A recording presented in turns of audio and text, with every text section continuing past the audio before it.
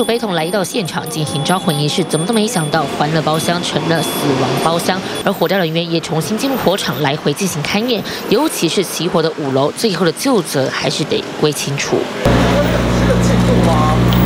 检察官进入中山分局，为了就是约谈九名工人以及五名前柜员工。由于死伤人数多，这次北检派出五名检察官组成专案小组，针对遗体详验、勘验现场、调查事故等，分别分工进行。尤其现场施工电梯的工人为第一目击者，最为重要。我也不晓得，不大晓得。那要是警方问你的时候，问在为什么？约谈走出来，几名工人对于案件不多说明，但他们强调不是他们的错。而另外钱柜也有相当大的责任，关闭消防设备逃生不及，恐怕依消防法规，管理权人面临一年到七年有期徒刑。尽管发声明致歉，说将会给罹难者一人十万元的慰问金，但火警看守人为疏失，业者工人恐怕涉及公共危险以及过失致死罪嫌，还给家属一个公道。接综报道。